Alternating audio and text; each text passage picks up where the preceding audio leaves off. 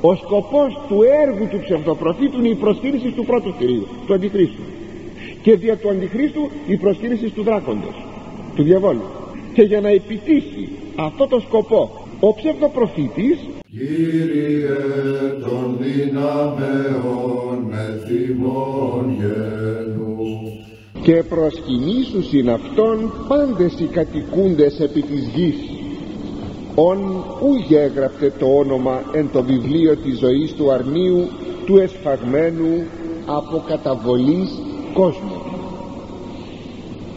ευρισκόμεθα εις το βιβλίο της Αποκαλύψεως κεφάλαιο 13 στίχος 8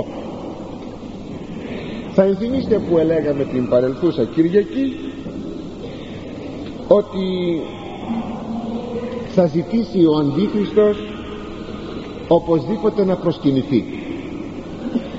Θα ασκήσει γοητείαν και βίαν.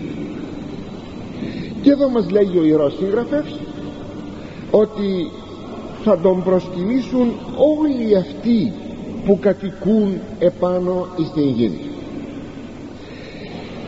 Αλλά εκείνοι των οποίων το όνομα δεν είναι γραμμένο εις το βιβλίο της ζωής εις το βιβλίο της ζωής του αρνίου που είναι εσφαγμένο πριν γίνει ο κόσμος. Όπως θα παρατηρήσατε και θα ενθυμίστε ο Ιερός Ευαγγελιστής επανέρχεται εις το θέμα της προσκυνήσεως του θηρίου. Και πιο κάτω πάλι θα επανέλθει και κάνει επεξήγηση και επεξήγηση επεξηγήσεως διότι το θεωρεί πολύ σπουδαίο και πολύ σημαντικό. Σημειώσατε ότι στην εποχή των μαρτύρων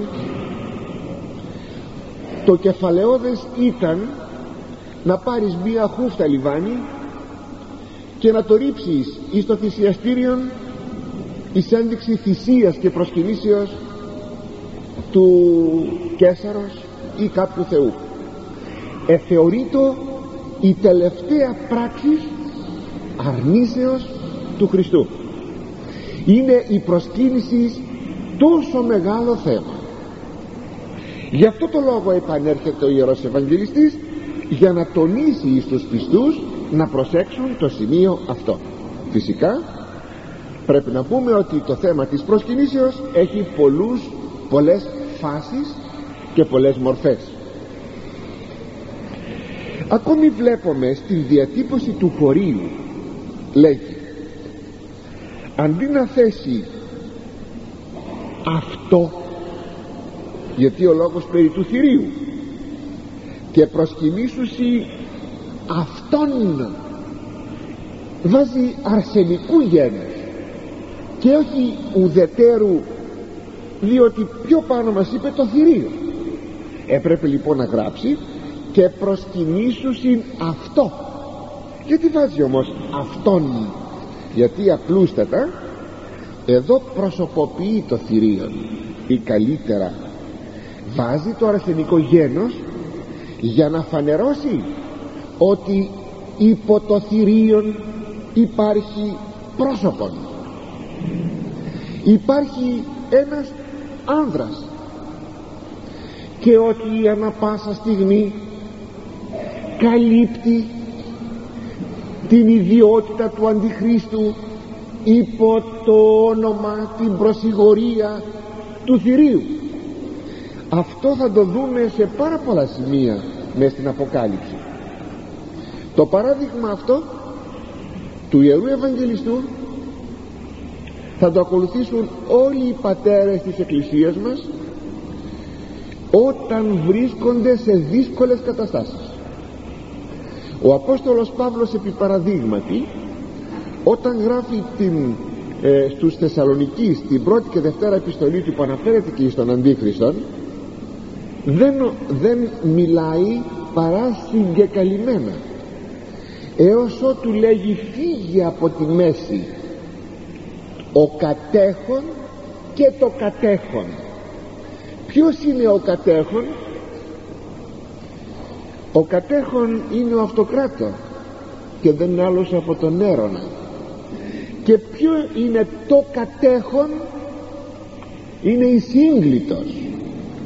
αλλά εάν έγραφε στην επιστολή του ότι θα εμφανιστεί ο Αντίχριστος συγγνώμη δεν ήταν ο, δεν ήταν ο Νέρον ήταν ο πατέρας του Νέρονος. Δεν θυμάμαι τη στιγμή πως το λέγανε.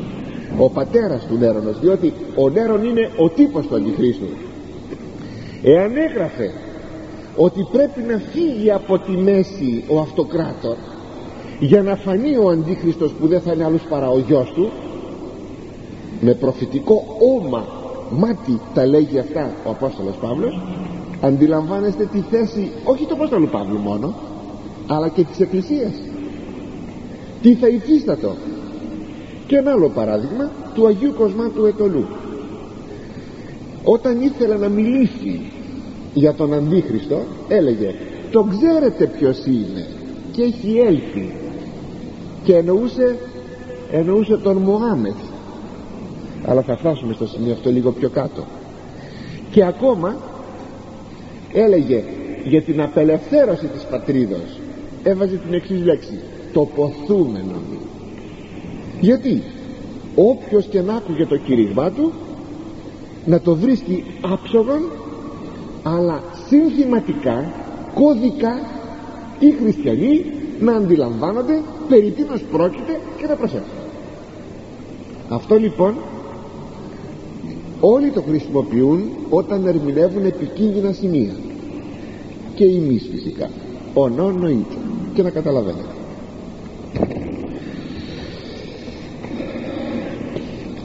Ώστε λοιπόν ο Αντίχριστος είναι πρόσωπον. Βέβαια είναι πρόσωπον και δεν είναι μία συλλογική κατάστασης ή συλλογικές καταστάσεις ή απλώς απρόσωπες αντίθεες δυνάμεις. Φυσικά οι αντίθεες και οι αντίθεες δυνάμεις και αυτές οι συλλογικές ε, εχθρικές προς την Εκκλησία δυνάμεις οπωσδήποτε προοδοποιούν ανοίγουν τον δρόμο στον Αντίχριστο. Είναι απρόσωπες. Αλλά ο Αντίχριστος και θεωρούνται αντίχριστοι όλα αυτά. Οι τύποι του Αντιχρίστου. Όμως αγαπητοί μου ο Αντίχριστος είναι πρόσωπος. Είναι άνθρωπος. Είναι άνδρας. Και θα προσκυνηθεί λοιπόν ο Αντίχριστος από ολόκληρη τη γη από όλους τους κατοικούντας την γη πλην των πιστών. Διότι θα του έχουν αποδοθεί του Αντιχρίστου ένα εκατόν ψεύδο θαυμάτων του θείες ιδιότητες όπως σας έλεγα μια περασμένη φορά όπως το παντοδύναμος το πανίσχυρος κρατεός παντοκράτορ. Και θα του αποδοθούν λοιπόν θείες τιμές. Οι πιστοί δεν θα προσκυνήσουν.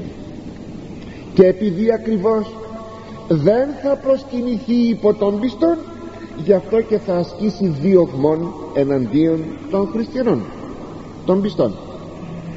Αλλά ποιοι θα τον προσκυνήσουν όμως; Όλοι οι άνθρωποι της γης. Προσέξτε δυστυχώς ασφαλέστατα και ένα πολύ μεγάλο μέρος των χριστιανών. Βεβαίως διότι απλούστατα αυτοί οι χριστιανοί είναι οι αστήρικτοι χριστιανοί. Και πολλούς τέτοιους έχουμε αστηρίκτους χριστιανούς οι οποίοι θα πλανηθούν από τα θαύματα τα ψευδοθαύματα του Αντιχρίστου και έτσι τελικά θα νομίσουν ότι ο Μεσσίας είναι ο Αντίχριστος όχι ο Χριστός και τελικά θα προσκυνήσουν Αυτόν. Θα ήθελα να σας έλεγα και να το γνωρίζετε αυτό θα σας το πω και λίγο πιο κάτω. Άλλη μία φορά να σας τυπωθεί ο λαός του Θεού και οι κάτοικοι ενός χριστιανικού κράτους δεν ταυτίζονται. Όταν λέμε ένα χριστιανικό κράτος θερυπεί η Ελλάς που όλοι οι χριστιανοί όλοι οι Έλληνες υποτίθεται ότι είναι βαπτισμένοι. Όλοι οι Έλληνες είναι βαπτισμένοι τουλάχιστον μέχρι αυτή τη στιγμή. Αύριο δεν ξέρω τι θα γίνεται. Συνεπώς είμεθα ένα χριστιανικό κράτος. Τι θα λέγαμε; Ότι είμεθα ο λαός του Θεού. Ταυτίζεται ο λαός του Θεού με το σύνολο των πολιτών ενός χριστιανικού κράτους. Αναμφισβήτητα όχι. Γιατί απλούστατα όλοι δεν ζουν κατά συνείδηση χριστιανική ζωή και πίστη και συνεπώς δεν συμπίπτει η έννοια του λαού του Θεού που θα σας μιλάω τόσο συχνά για το λαό του Θεού με την έννοια των πολιτών ενός χριστιανικού κράτους. Αυτό παρακαλώ να το σημειώσετε. Βέβαια στην πολύ ευρία έννοια θα μπορούσαμε να πούμε ότι όλοι οι Έλληνες που μεθαβατισμένοι θα χριστιανικός λαός οπωσδήποτε θα. Ένας λαός του Θεού. Εν ευρία ενία. Αλλά θα σας θυμίσω αυτό που λέγαμε στα περσινά μας θέματα. Όταν εκλήθη ο Άγιος Ιωάννης να μετρήσει το ναόν και το θυσιαστήριο του υπόθηκε την Αγία Πόλη δεν θα μετρήσεις.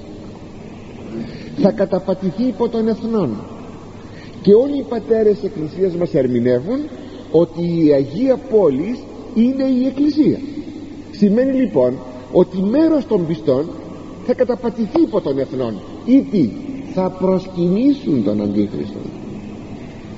Το θέμα δεν είναι αν είμαι χριστιανός ή όχι αλλά εάν ανήκω εις το λαό του Θεού που θα σωθεί. Ο Κύριος δεν λέγει οι πιστοί δεν θα παρασυρθούν αλλά οι εκλεκτοί και μάλιστα θα παραβιαστούν και οι εκλεκτοί. Και τι θα πει; Ή δυνατόν λέγει ή δυνατόν να παρασυρθούν δηλαδή να προσβάλλει και τους εκλεκτούς ο Αντίχριστος γι' αυτό λοιπόν θα σας παρακαλέσω ας ξεχωρίσουμε αυτός, αυτές τις δύο έννοιες του λαού του Θεού και του Εβραίος λαού που είναι ένα χριστιανικό κράτος.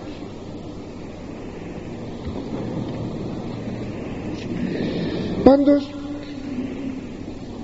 ο χαρακτηρισμός ότι θα προσκυνήσουν το θηρίο όλοι εκείνοι που δεν θα είναι στερεωμένοι στην πίστη υπάρχει με τη διατύπωση. «ον ου γέγραψε το όνομα εν το βιβλίο της ζωής τον οποίον το όνομα δεν είναι γραμμένο εις το βιβλίο της ζωής. Θα ήθελα να μείνω ιδιαίτερα πάνω στο σημείο αυτό. Λέει ο Απόστολος Παύλος Εφεσίους 1,4 καθώς και εξελέξατο ημάς εν αυτό προκαταβολής κόσμου είναι ημάς οι Αγίους και αμόμους κατενόπιον αυτού όταν λέγει ότι τα ονόματα των εκλεκτών είναι γραμμένα στο βιβλίο της ζωής προκαταβολής κόσμου αμέσως θα πίστευε κανείς ότι εδώ ενισχύεται ο λεγόμενος απόλυτος προορισμός.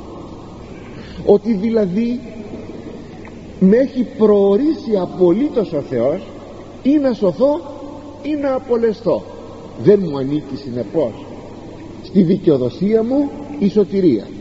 Αυτό είναι ασφαλμένο ο Θεός είναι εκτός χώρου και χρόνου και γνωρίζει τα πεπραγμένα της ιστορίας πρώτης ιστορίας. Με αυτή την έννοια ο Θεός καθορίζει και γνωρίζει τα ονόματα εκείνων που θα σωθούν. Εν ελευθέρω αγώνη εν ελευθέρα συνειδήση και όχι διότι ο Θεός διαλέγει προσωποληπτώντας κάποιους για να τους κάνει λαό του και κάποιους άλλους για να τους απορρίψει. Είναι όμως πολύ χαρακτηριστικό αυτό. Προσέξτε όμως κάτι θα επανέλθω γιατί αισθάνομαι πάντοτε ότι είμαι ελλειπής γιατί θέλω να σας βοηθήσω. Τι θα προσκυνήσουν; Τον Αντίχριστο. Μα τότε σήμερα δεν ήρθε ο Αντίχριστος ακόμα. Εμείς υποτίθεται πως θα πεθάνουμε δεν ξέρω. Μπορεί να μην τον δούμε καθόλου. Στις ημέρες μας να μην είναι καθόλου. Προσέξτε αγαπητοί σας είχα πει πέρυσι στο τελευταίο θέμα ότι ο Αντίχριστος έρχεται πάντοτε από την εποχή του Αδάμ και της Εύας. Ο δράκον αυτός φέρνει τον Αντίχριστο ο δράκον, ο διάβολος στον παράδεισο του Θεού. Και ότι μέσα στην ιστορία ενεργούσε ο διάβολος φέροντας τύπους αντιχρίστων πολύ δε παραπάνω μετά Χριστόν. Και μην νομίζετε ότι εμείς για την εποχή μας μπορούμε να μεταθέτουμε την δράση του Αντιχρίστου εις τα έσχατα. Δια την Εκκλησία η κάθε εποχή είναι έσχατα. Υπογραμμίζω η κάθε εποχή είναι έσχατα. Είναι τελευταία. Και ο Αντίχριστος είναι πάντοτε παρόν. Όπως και ο ψευδοπροφήτης που θα πούμε λίγο παρακάτω είναι πάντοτε παρόν. Και πως προσκυνείται παρακαλώ ο Αντίχριστος; Ποικιλοτρόπως προσκυνείται αλλά κυρίως προσεκινήθη και προσκυνείται και στις ημέρες μας με την κεσαρολατρία όταν προσκυνούν οι άνθρωποι πρόσωπα κυβερνώντα λαούς και προσεκινήθησαν και προσκυνούνται και θα προσκυνούνται. Αυτή είναι η κεσαρολατρία και είναι τύπος προσκυνήσεως του Αντιχρίστου διότι ο γνήσιος κυβερνήτης ενός λαού ποτέ δεν θα δεχθεί να προσκυνηθεί αποδίδοντας εις αυτόν θείες τιμές. Έχουν αποδοθεί σε πρόσωπα που κυβέρνησαν. Στον αιώνα μας, στον 20ο αιώνα αν θέλετε. Στον αιώνα μας, τώρα τελευταία γνωρίζαμε, ζούμε εμείς. Απεδόθησαν στα πρόσωπα αυτά που κυβέρνησαν ή κυβερνούν θείες ιδιότητες. Γελάς σας το έλεγα την άλλη φορά και το χορτάρι ανατέλει βγαίνει το χορτάρι. Χαίρεσε και γονιμοποιείται η φύση. Ακούτε παρακαλώ. Έγραφε ο Αραγκό ο ποιητής το 1937 για ένα τέτοιο θεοποιούμενο πρόσωπο. Μάλιστα. Μάλιστα. Ο νόνο το καταλαβαίνετε πολλά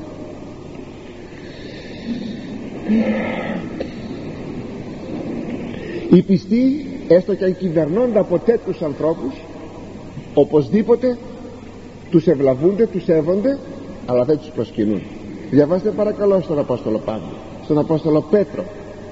Να δείτε τι γράφουν. Οφείλουμε λέγει οφείλουμε σεβασμόν εις τους, προσκυ... εις τους, δι... εις τους κυβερνώντες.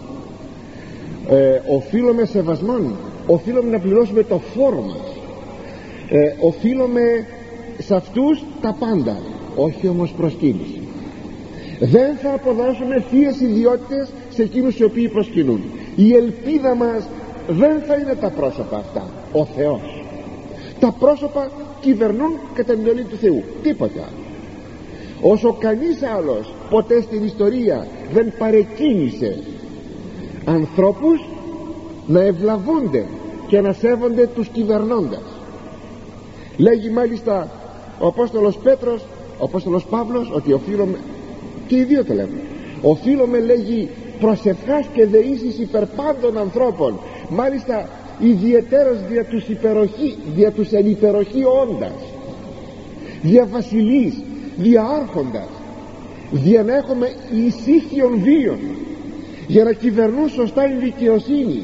Οφείλουμε να προσέχουμε και να προσευχόμεθα αυτό λέγει είναι καλόν και απόδεκτον από τον Θεό το θέλει ο Θεός αυτό.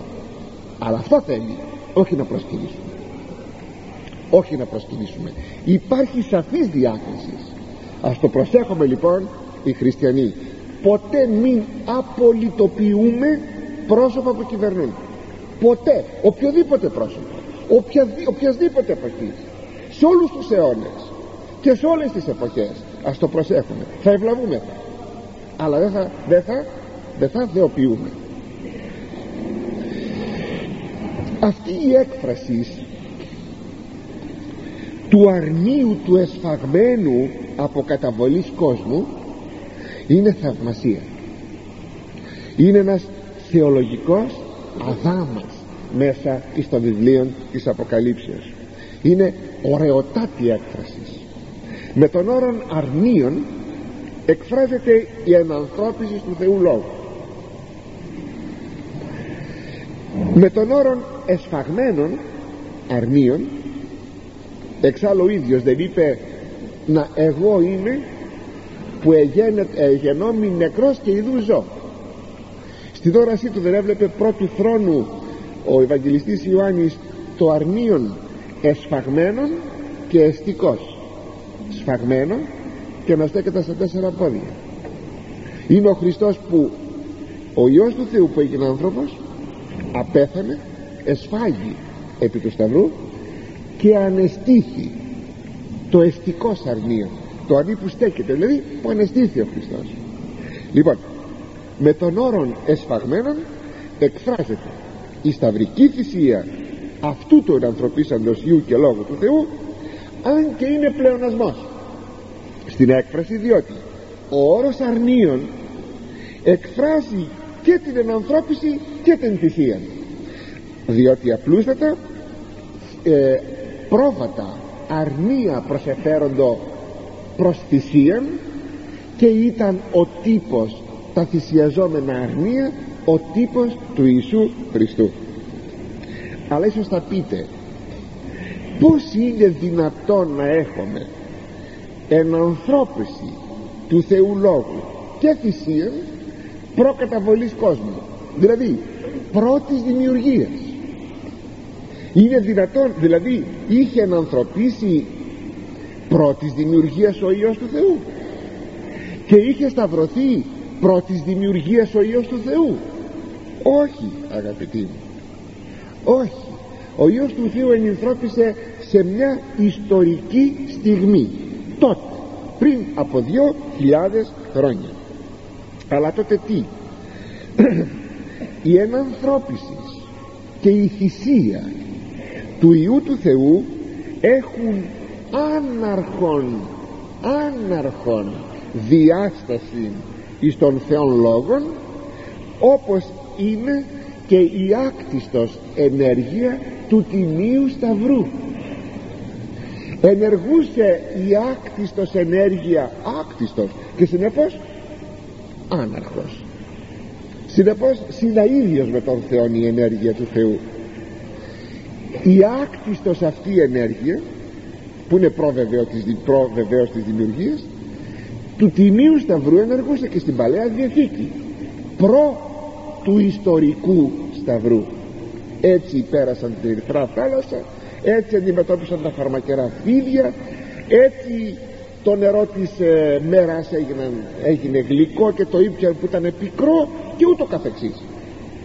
Ώστε έχουμε και εδώ όπως σας εξήγησα την άναρχον διάσταση της ενανθρωπίσεως και της θυσίας του Θεού Λόγου.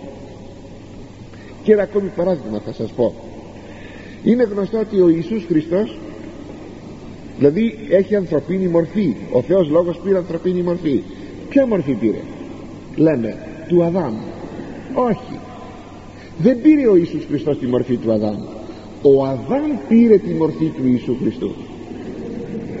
Δεν είναι ο Ιησούς Χριστός η εικόνα του Αδάμ. Ο Αδάμ είναι η εικόνα του Ιησού Χριστού. Ενώ δηλαδή στην ψυχοσωματική θα λέγαμε ε, ε παρουσία. Γιατί δεν έχει σημασία ότι ο Αδάμ ιστορικά προηγείται. Έτσι ο Υιός του Θεού είχε την ανθρωπίνη φύση δύναμη πρώτης δημιουργίας. Δύναμη αυτής της ανθρωπίνης φύσεως έγινε ο Αδάμ. Αυτό λοιπόν σημαίνει ότι τα ονόματα των πιστών που θα σωθούν είναι γραμμένα στο βιβλίο της ζωής του εσφαγμένου αρνίου προ καταβολής κόσμου. Είναι ωραιότατο. Αγαπητοί μου μόνο που δεν το ξέρουμε για σκεφτείτε να είναι θα γραμμένοι στο βιβλίο της ζωής. Μόνο που δεν το ξέρουμε όταν κάποτε ρώτησαν τον Κύριο Κύριε ή εψιλογιώτα και ψηλή εάν ή πολλοί ισοζόμενοι εάν είναι πολλοί αυτοί που θα σωθούν. Ο Κύριος δεν είπε ούτε λίγοι ούτε πολλοί. Αλλά τι; Αγωνίζεστε εις ελθύ αγωνίζεστε. Και όταν γύρισαν οι εβδομήκοντα και με τα χαράς είπαν Κύριε και τα δαιμόνια υποτάσσονται στο όνομά σου ο Κύριος είπε μη χαίρεστε εδώ το είπε καθαρά μη χαίρεστε γιατί υποτάσσονται τα δαιμόνια. Αυτό δεν είναι δικό σας θέμα είναι δικό μου θέμα. Αλλά να έχετε χαρά γιατί τα ονόματά σας είναι γραμμένα στον ουρανό.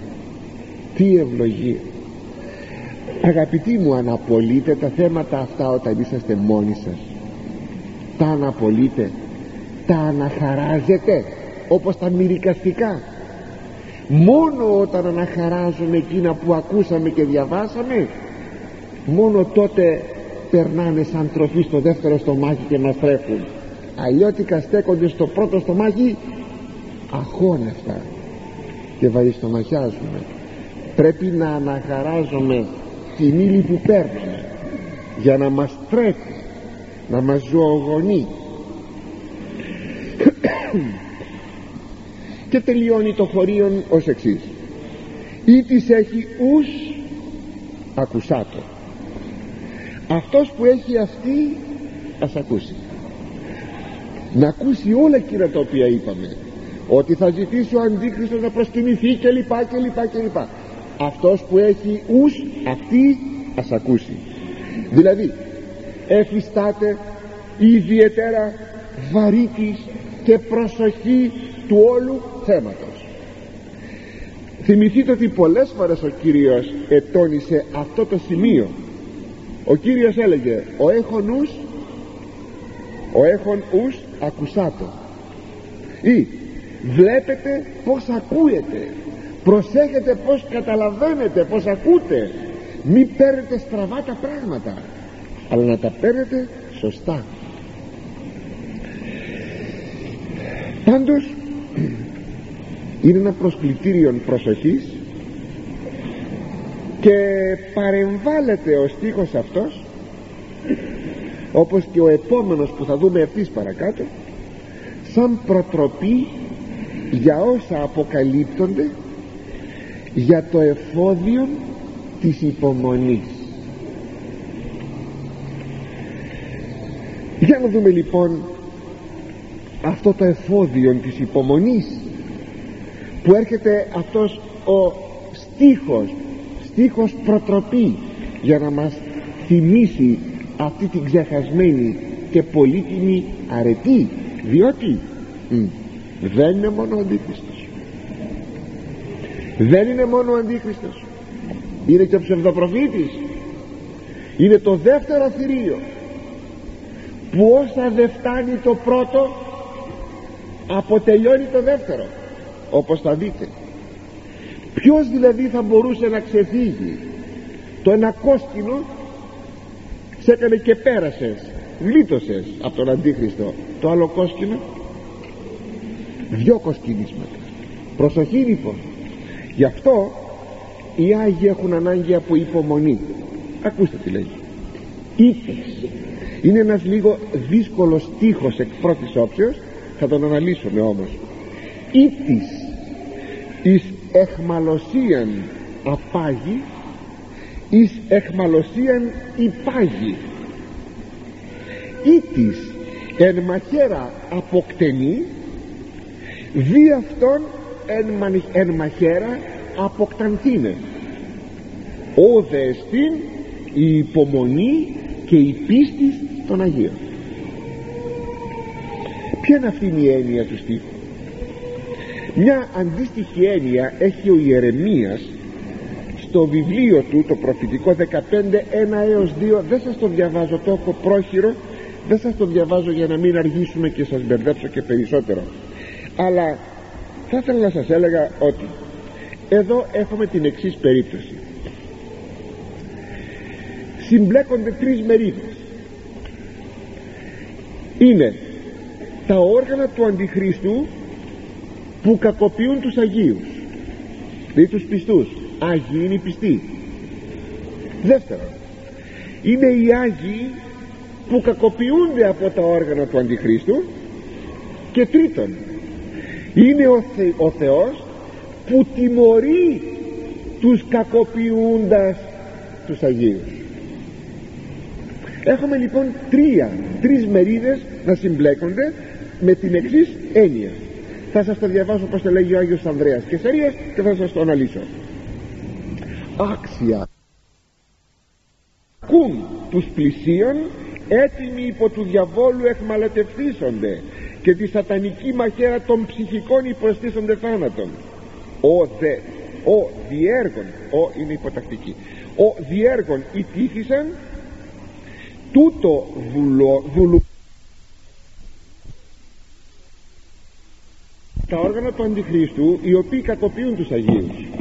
Αυτοί τι κάνουν; Παίρνουν μαχαίρι και φωνεύουν τους Αγίους. Ή τους, τους οδηγούν σε εχμαλωσία. Σε εχμαλωσία. Και λέει τώρα εδώ το χωρίο αυτός που παίρνει μαχαίρι με μαχαίρι θα πεθάνει από ποιο μαχαίρι θα πεθάνει όμως αυτό το, αυτός που είναι όργανο του Αντιχρίστου; Από το μαχαίρι του διαβόλου. Δηλαδή θα τον έχει εχμαλωτήσει ο διάβολος αυτό. Αυτό θα είναι και η τιμωρία του. Έτσι ο λόγος του Χριστού αυτοί που πήραν μαχαίρι με μαχαίρι θα πεθάνουν βρίσκει εδώ την πραγμάτωσή του. Γιατί μπορείτε να πείτε διαψεύδεται ο Χριστός όταν μας είπε ότι πάντες οι λαβώντες μάχαιραν εν μαχαίρα αποθανούνται που είχε πει στον Απόστολο Πέτρον. Ενώ ξέρουμε ανθρώπους οι οποίοι όχι όμως όλοι γιατί ξέρετε είναι κάτι φοβερό. Άνθρωποι που φώνευσαν εφωνεύτηκαν.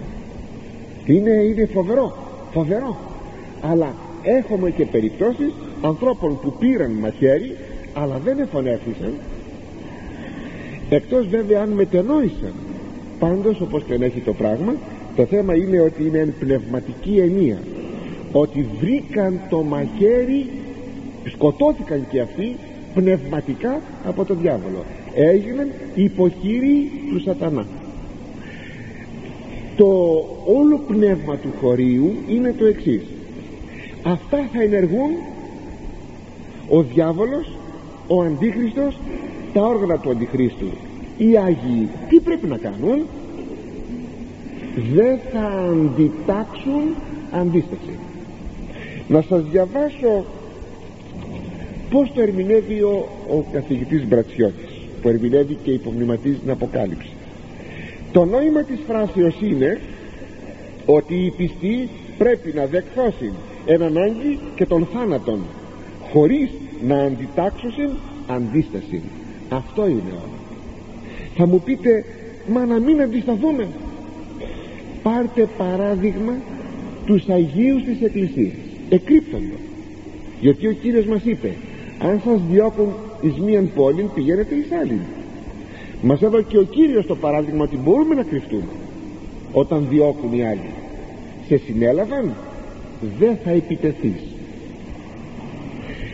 σε όλη τη γραμμή της εκκλησιαστικής μας ιστορίας οι Άγιοι έτσι ενήργησαν.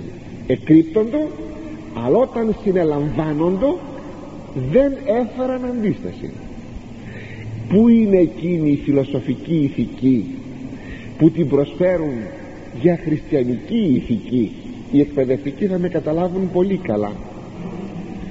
Που λέει ότι εν ονόματι, εν ονόματι των δικαιωμάτων της ζωής μπορώ να έχω ε, να είμαι επιθετικός για να κλειτώσω τη ζωή μου. Όχι. Όχι. Σε έναν εγκληματία ανοίγει η πόρτα μου το βράδυ τη νύχτα εκεί που κοιμάμαι για μια στιγμή βλέπω έναν άνθρωπο που ήρθε να με ληστέψει.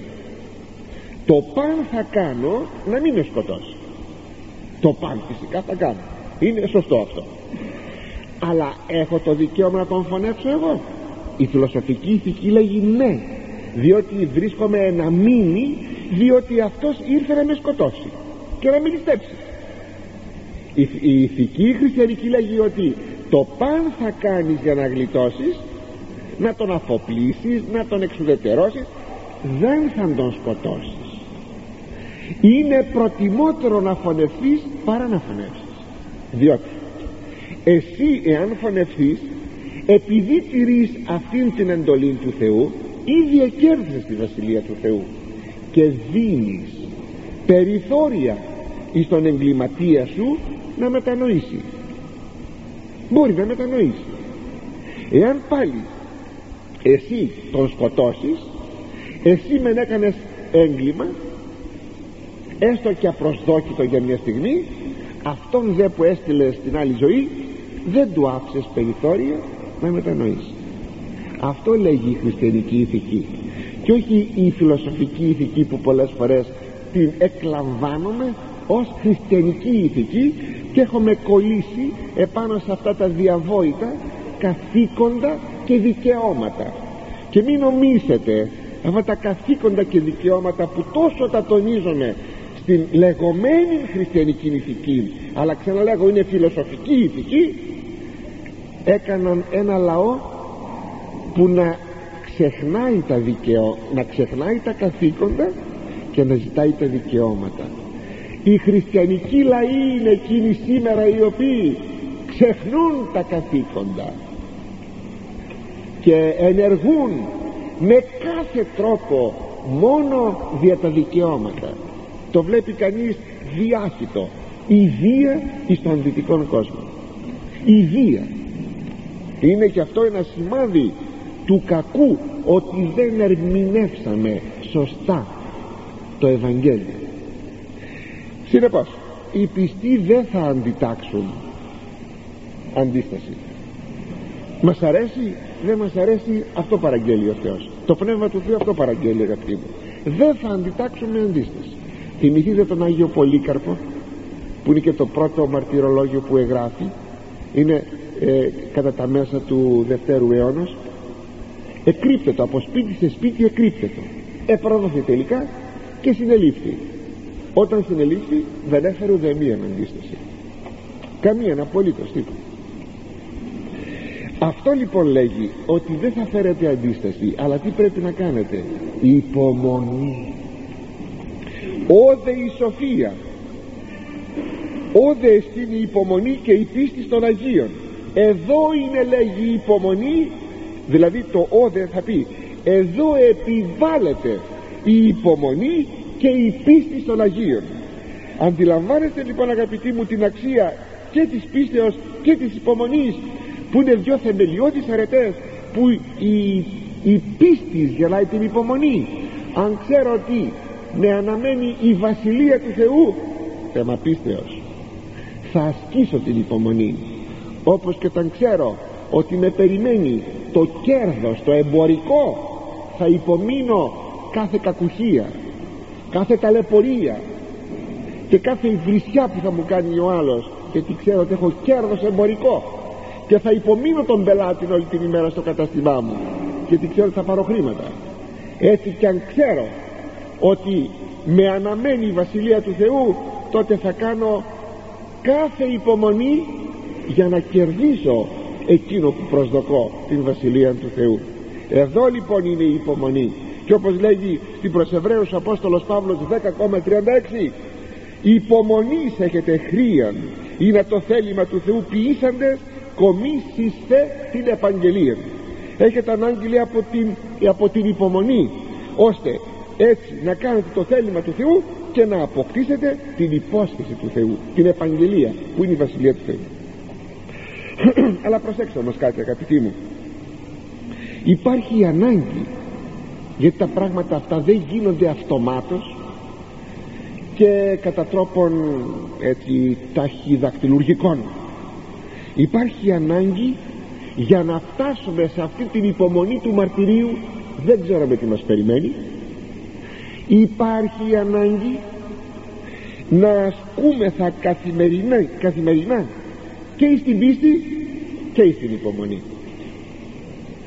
Να σας πω κάνα δύο τρία παραδειγματάκια έχετε υγεία. Εάν έχετε υγεία αναλογίζεστε κάθε μέρα όχι βέβαια σε βαθμό άγχους γιατί αυτό το πράγμα είναι φοβία. Αναλογίζεστε κάθε μέρα ότι μπορείτε να αρρωστήσετε με οδυνηρωτάτη αρρώστια και να πονάτε φοβερά όπως βλέπουμε άλλους ανθρώπους να υποφέρουν και που κάποτε δεν είναι τόσο οδυνηρή η αρρώστια όσο είναι η θεραπεία οδυνηρή όταν ακούμε σε τι υπευλήθη ο άνθρωπος αυτός για να γίνει καλά και λέμε Θεέ μου Θεέ μου πως άντεξε ο άνθρωπος αυτός αναλογιζόμαστε. Αν αναλογιζόμαστε προσοικιούμεθα πλησιάζομαι εγγίζομαι μπαίναμε στο χώρο μιας ενδεχομένης αρρώστιας ώστε αν πάθουμε αρρώστια όποτε και αν πάθουμε να έχουμε υπομονή. Έχετε πλούτον. Εάν έχετε πλούτον αναλογίζεστε ότι μπορεί να έρθει κάποια ημέρα που μπορείτε να βγείτε στο δρόμο να ζητιανεύετε λίγο ξερό ψωμί ή να πάτε όχι γιατί θα υπάρχει πείνα όχι όχι γιατί τότε πέφτει η γενική αξιοπρέπεια. Όχι. Εσύ αδελφέ μου να έχεις φτωχύνει και να πηγαίνεις στους δενεκέδες των σκουπιδιών που βγαίνουν στο πεζοδρόμιο να σκαλίζεις για να βρεις κάτι να φας. Το σκεφτήκατε; Το θέμα είναι ότι θα αφήσω την αξιοπρέπειά μου να πέσει εκεί. Διότι έχω την δυνατότητα να μην πάω να σκαλίσω τους δερεκέδες των σκουπιδιών. Πότε; Θα το δείτε λίγο πιο κάτω όταν θα ασκήσει, θα ασκήσει ο Αντίχριστος θα ασκήσει ο ψευδοπροφήτης οικονομικών αποκλεισμών. Και δεν θα έχω να φάω. Εκεί τι θα κάνω όταν μου λείπει το κρεατάκι το βουτυράκι το αυγουλάκι. Τότε τι θα κάνω. Ο Θεός σου έωσε τα αγαθά σου αδελφέ μου. Να έχεις να απολαμβάνεις. Και να κάνεις καλή και να κάνεις καλή μην δεν είναι μόνο για τον εαυτό σου. Θυμηθείτε τον πλούσιο της σημερινής παραβολής. Αλλά μέσα στα αγαθά σου να σκέπτεσαι ότι κάποτε μπορείς να ζητιανέψεις και να λες εκείνο που λέει η Αγία Γραφή να θυμάσαι λέει η Σοφία Σειρά όπως από το πρωί μέχρι το βράδυ ο καιρός αλλάζει έτσι και μέσα στη ζωή τα πράγματα αλλάζουν και να είσαι από φτω... πλούσιος φτωχός αλλά και από φτωχός πλούσιος. Γι' αυτό το λόγο αυτά πρέπει να τα εγγύσουμε να τα συνειδητοποιούμε. Όχι να κλείνουμε τα μάτια μας στουρθοκαμιλικά και να λέμε μη το λες μη το λες γιατί να μην το λες; Ανθρώπινα πράγματα. Να βγεις και να λες αδελφοί χριστιανοί άνθρωποι δώστε μου κάτι να πάω να, να αγοράσω λίγο ψωμί να πάω έχετε άνετος σπίτι να το έχετε να το χαίρεστε. Αλλά προσέξτε όταν κοιμάσαι στο, στο ωραίο σας κρεβάτι και όταν είσαστε στο άνετο σπίτι σας να σκέπτεστε ότι μπορείτε κάποτε να κοιμόσαστε στα παγκάκια ενός άλσους ή στο δρόμο. Γιατί; Γιατί θα σας έχει πάρει το σπίτι σας ο Αντίχριστος για να μην προβάσετε την πίστη σας. Ή, ή έτσι ήρθαν τα πράγματα στη ζωή και φτώχυνα βράδυ. Θα έχασα το σπίτι μου έγινε σεισμός έγινε πόλεμος. Έπεσε μια βόμβα γκρέμισε το σπίτι μου. Τώρα τι θα κάνω; Θα κάνω εκείνο που, μου, που λέει η γυναίκα του Ιώβ. Επιτέλους λέει άνθρωπε μου βλασφήμα των Θεών να πεθάνεις, να ησυχάσεις και να ησυχάσω. Γιατί λέγει πηγαίνω στα σπίτια να κοιμηθώ δεν είχαν σπίτι εγκρέμισα το σπίτι και όταν πηγαίνω να κοιμηθώ περιμένω πότε θα ξημερώσει. Και όταν ξημερώσει περιμένω πότε θα βραδιάσει. Και είδατε τι είπε αυτή η γυναίκα η άμυαλη γυναίκα εις τον Ιώβ. Όπως και η γυναίκα του το Βίτ. Κάτι ανάλογο του είπε. Και ο Ιώβ τι είπε; Όχι. Μόνο τα αγαθά από τον Θεό θα περιμένουμε. Και τα άσχημα θα περιμένουμε. Γιατί; Γιατί ο Ιώβ ήταν πλούσιος. Είχε όλα τα αγαθά του. Αλλά ψυχολογικά ετοιμαζόνταν και για την αρρώστια και για τη φτώχεια και για την κοπριά στην κοπριά επάνω ήταν και κοιμότανε. Και εμείς λοιπόν για να έχουμε υπομονή χρειαζόμαστε κάποιες ασκήσεις. Δεν είναι φιλολογία αυτά τα πράγματα αγαπητοί μου. Τώρα καθόμαστε σε μια ωραία καρέκλα σε λίγο θα χειμωνιάσει και θα έχουμε και το καλοριφέρα εδώ θα είναι ζεστά θα έχουμε το αυτοκίνητό μας απ' έξω να μας πάει στο σπίτι μας. Όλα αυτά είναι πολύ άνετα. Το να ακούει κανείς ξέρετε το λόγο του Θεού άνετα και να μην κάνει καμιά ανάσκηση νομίζω είναι μια αμαρτία. Όχι. Θα τα αναλογιζόμαστε όλα. Ότι μπορούμε όλοι να υποστούμε αυτές τις καταστάσεις. Θέλει λοιπόν μία θα λέγαμε προπόνηση ώστε να μην διαμαρτυρόμαστε για ένα μικρό πόνο σε μια αρρώστια για ένα κρυολόγημα ούτε ακόμη για μια στέρηση ηλική που μπορούμε να υποστούμε ούτε για μια κακοπάθεια. Όλα αυτά είναι μικρές ασκήσεις που θα τα φέρουμε αγωγίστως τα κακοπαθήματα για να ετοιμαζόμαστε για τη μεγάλη υπομονή για τις μεγάλες προπονήσεις συγγνώμη για τις μεγάλες αναδείξεις για τα μεγάλα σκάματα και είδον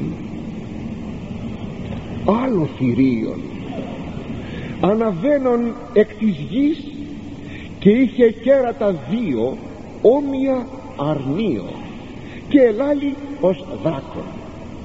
13 κεφάλαιος στίχος 11 και είδα λέει ο Ευαγγελιστής ευθύς μετά την όραση του πρώτου θηρίου που ανήλθε από τη θάλασσα και που μέχρι τώρα μας έκανε την περιγραφή του και εμείς την ανάλυση του ότι είδα λέει ένα άλλο θηρίο. Να ανεβαίνει από τη γη. Όχι από τη θάλασσα από τη γη. Είχε δύο κέρατα. Δεν είχε δέκα. Και τα κέρατα αυτά ήταν σαν κέρατα αρνιού και μιλούσε σαν δράκο σαν φίδι. Μιλούσε ως δράκο τι σημαίνει αυτό; Ποια είναι αυτή η ταυτότητα του καινούργιου αυτού δευτέρου θηρίου που εμφανίζεται εις τον αποκαλυπτικόν ορίζοντα του Ιερού Ευαγγελιστού; Γράφει Άγιος Ανδρέας ομολογουμένου δε και του ψευδοπροφήτου εν δύο προσώπο έρχεστε. Ου κάτω πονηγούμεθα τον μεν δράκοντα εις τον σατανάν. Το δε θηρίον το εκ της θαλάσσης αναβαίνον εις τον αντίχριστον. Το δε παρόν κατά το δοκούν το μακαρίο ειρηναίο εις τον ψευδοπροφήτη εκλαμβάνεστε. Εκ της γης μεν ανερχόμενον δηλαδή της γηίνης και χαμερπούς πολιτείας. Περιού φυσίν ο ειρηναίος επιλέξεως ούτως περί του υπασπιστού ον και ψευδοπροφήτην καλή. Έχουμε θα σας το αναλύσω πιο κάτω όλο αυτό που σας διάβασα γιατί τα περιέχει όλα εκεί ερμηνευτικά ο Άγιος ε, Ανδρέας Κεσαρίας έχουμε λοιπόν ένα τρίτο πρόσωπο στο προσκήνιο.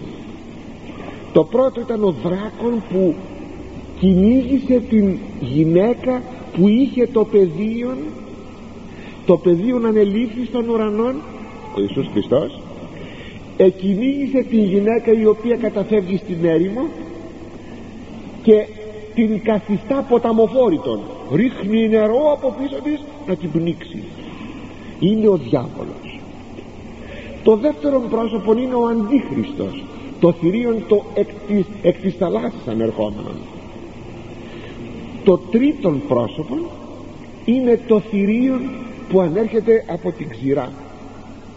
Και συνεπώς έχουμε αγαπητοί μου τρία πρόσωπα. Αυτό το πρόσωπο το τρίτο είναι πρόσωπο λέγει ο Αρέθας.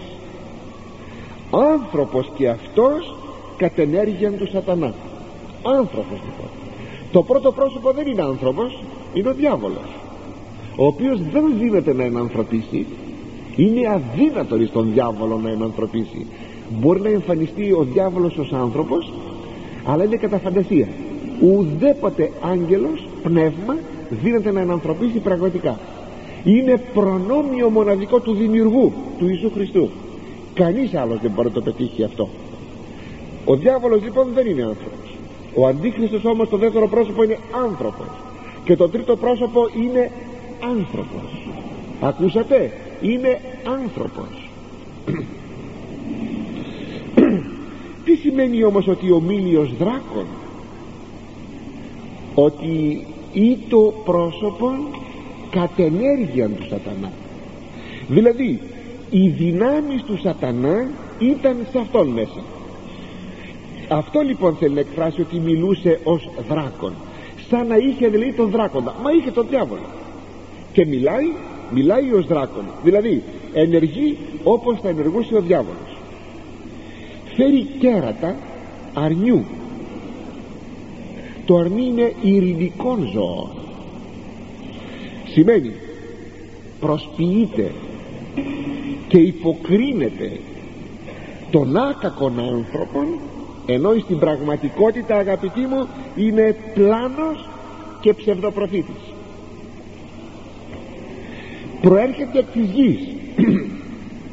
Σημείων όπως λέγει ο Άγιος Ανδρέας Κεσαρίας σημείων της χαμερπούς πολιτείας. Είναι σκοτεινό πρόσωπο. Είναι θεληρό πρόσωπο. Κουβαλάει ιδέες όπως θα δούμε λίγο πιο κάτω σκοτεινές. Αυτό που λέμε σήμερα σκοτεινές δυνάμεις. Ακούσατε τι είπα; Αυτό που λέμε σήμερα σκοτεινές δυνάμεις. Παρασκηνιακές δυνάμεις. Ότι τα πνεύματα τα πονηρά τα σκοτεινά έρχονται από τη γη σας θυμίζω σε εκείνη την πνευματιστική συνεδρίαση που εζήτησε να γίνει ο Σαούλ σε εκείνη την πνευματίστρια τη μάγισσα και τι έλεγε; Βλέπω πνεύματα να ανέρχονται από τη γη δαίμονες δηλαδή. Πονηρά πράγματα. Αυτό σημαίνει ότι έρχεται από τη γη. Είναι έκφραση για να δειχθεί ότι αυτό το τρίτο πρόσωπο είναι σκοτεινό πρόσωπο και όμως. Στο πρόσωπό του εξωτερικά χαρούμενος γελαστός υπόσχεται ελευθερία υπόσχεται αυθονία υπόσχεται ειρήνη υπόσχεται κοινωνική ζωή όμορφη υπόσχεται οικουμενικότητα. Ήδη σας είπα πάνω κάτω τι είναι όλα αυτά. Και λοιπά υπόσχεται όλα αυτά φέρνει καλά μηνύματα ωραία μηνύματα. Έχει ωραίο πρόσωπο κι όμως είναι σκοτεινό πρόσωπο. Η εικόνα αυτού του οράματος του Ευαγγελιστού Ιωάννου είναι απολύτως σύμφωνη με τους προειδοποιητικούς λόγους του Κυρίου μας που λέγει Ματθαίος 7,15 προσέχετε από τον ψευδοπροφητών ήτινες έρχονται προς εμάς εν ενδύμαση προβάτων. Έσωθεν δε εσύ λύκοι άρπαγες. Είναι το ίδιο πράγμα. Τι είπε ο Κύριος; Προσέχετε. Είναι λύκοι δεν είναι πρόβατα. Είναι θηρία δεν είναι άκακοι άνθρωποι. Κουβαλάνε σχέδια καταχθόνια να σας καταπιούν και να σας καταβροχτήσουν να σας πλανήσουν δια της μεθόδου της πλάνης να σας οδηγήσουν στην απώλεια. Προσέχετε. Ώστε λοιπόν η παρουσία του τρίτου αυτού θηρίου συμπληρώνει μια τριάδα. Δράκων θηρίων αντίχριστος θηρίων ψευδοπροφήτης. Και τι είναι αυτό; Πρόκειται περί κακεκτύπου απομιμήσεως της Αγίας Τριάδος. Και όπως προσκυνείται η Αγία Τρίας θα ζητηθεί αυτή η κακέκτυπος Τριάς να προσκυνηθεί. Εις αντικατάσταση της προσκυνήσεως της Αγίας Τριάδος. Και την εξουσία του πρώτου θηρίου πάσαν ποιεί ενώπιον αυτού. Και ποιεί την γην και τους εν αυτό οικούντας ή να προσκυνήσω το θηρίον το πρώτο ου εθεραπεύθη η πληγή του θανάτου αυτού. Ο επόμενος στίχος ο 12 έχει λέει όλη την εξουσία του πρώτου θηρίου το οποίο πρώτο θηρίο πήρε την εξουσία από τον δράκοντα. Μεταβίβαση δηλαδή βλέπουμε εξουσίες ώστε οι θέσεις του δευτέρου θηρίου έναντι του πρώτου είναι θέσεις υποτελής και ενεργεί κατ' εντολή και διαλογαριασμών του πρώτου θηρίου. Τι είναι τότε λοιπόν αυτό το δεύτερο θηρίο; Ένα είδος προδρόμου γράφει ο Άγιος Ανδρέας Κεσαρίας ή να ποιεί έμπροσθεν του Αντιχρίστου προοδοποιών αυτό των της απολίας οδών στέκεται μπροστά στον Αντίχριστο και προπαγανδίζει εκείνα που θα πούμε για να ανοίγει τον δρόμο της απολίας μπροστά στον Αντίχριστο τι έχουμε εδώ; Έχουμε μίαν κακέκτυπον απομίμηση του Αγίου Ιωάννου του προδρόμου του προδρόμου του Χριστού που προοδοποίησε την οδόν Κυρίου και ο ψευδοπροφήτης ανοίγει το δρόμο στον Αντίχριστον. Είναι δηλαδή κακέκτυπος απομίμησης προδρόμου Χριστού. Ε, λοιπόν τι λέτε; Είναι πραγματικά ο Αντίχριστος πίθηκος Χριστού που λέγει ο Ιερός Αυγουστίνος; Ποιο είναι το έργο του ψευδοπροφήτου; Είναι η προσκύνησης του πρώτου θηρίου και δια την επιτυχία. Ακούσατε τι είπα ποια είναι, ποιος είναι ο σκοπός; Ο σκοπός του έργου του ψευδοπροφήτου είναι η προσκύνηση του πρώτου θηρίου του Αντιχρίστου. Και δια του Αντιχρίστου η προσκύνηση του δράκοντος του διαβόλου. Και για να επιτύχει αυτό το σκοπό ο ψευδοπροφήτης επιτελεί τέρατα και σημεία. Όπως αναφέρει και ο επόμενος στίχος που θα ειδούμε και φυσικά όλα αυτά κατά παραχώρηση του Θεού. Η επεξήγηση που σας διάβασα ου του οποίου θηρίου του πρώτου εθεραπεύθη πληγή του θανάτου αυτού είναι το βασικό επιχείρημα προσκυνήσεως του Αντιχρίστου ότι τάχα ο Αντίχριστος ανεστήθη από τους νεκρούς ή σας το έλεγα πέρσι αυτό ή ότι ανέστησε κάποιον εκ των υπασπιστών του αλλά πάντοτε κατά φαντασία ανάσταση νεκρού διότι δεν έχει το δικαίωμα να κάνει δεν μπορεί να κάνει ανάσταση νεκρού πραγματική. Ο διάβολος δεν μπορεί να κάνει πραγματική ανάσταση νεκρού. Κατά φαντασία. Και πέρυσι σας είχα πει τι σημαίνει κατά φαντασία όταν αναφερθήκαμε μα πως είναι δυνατόν.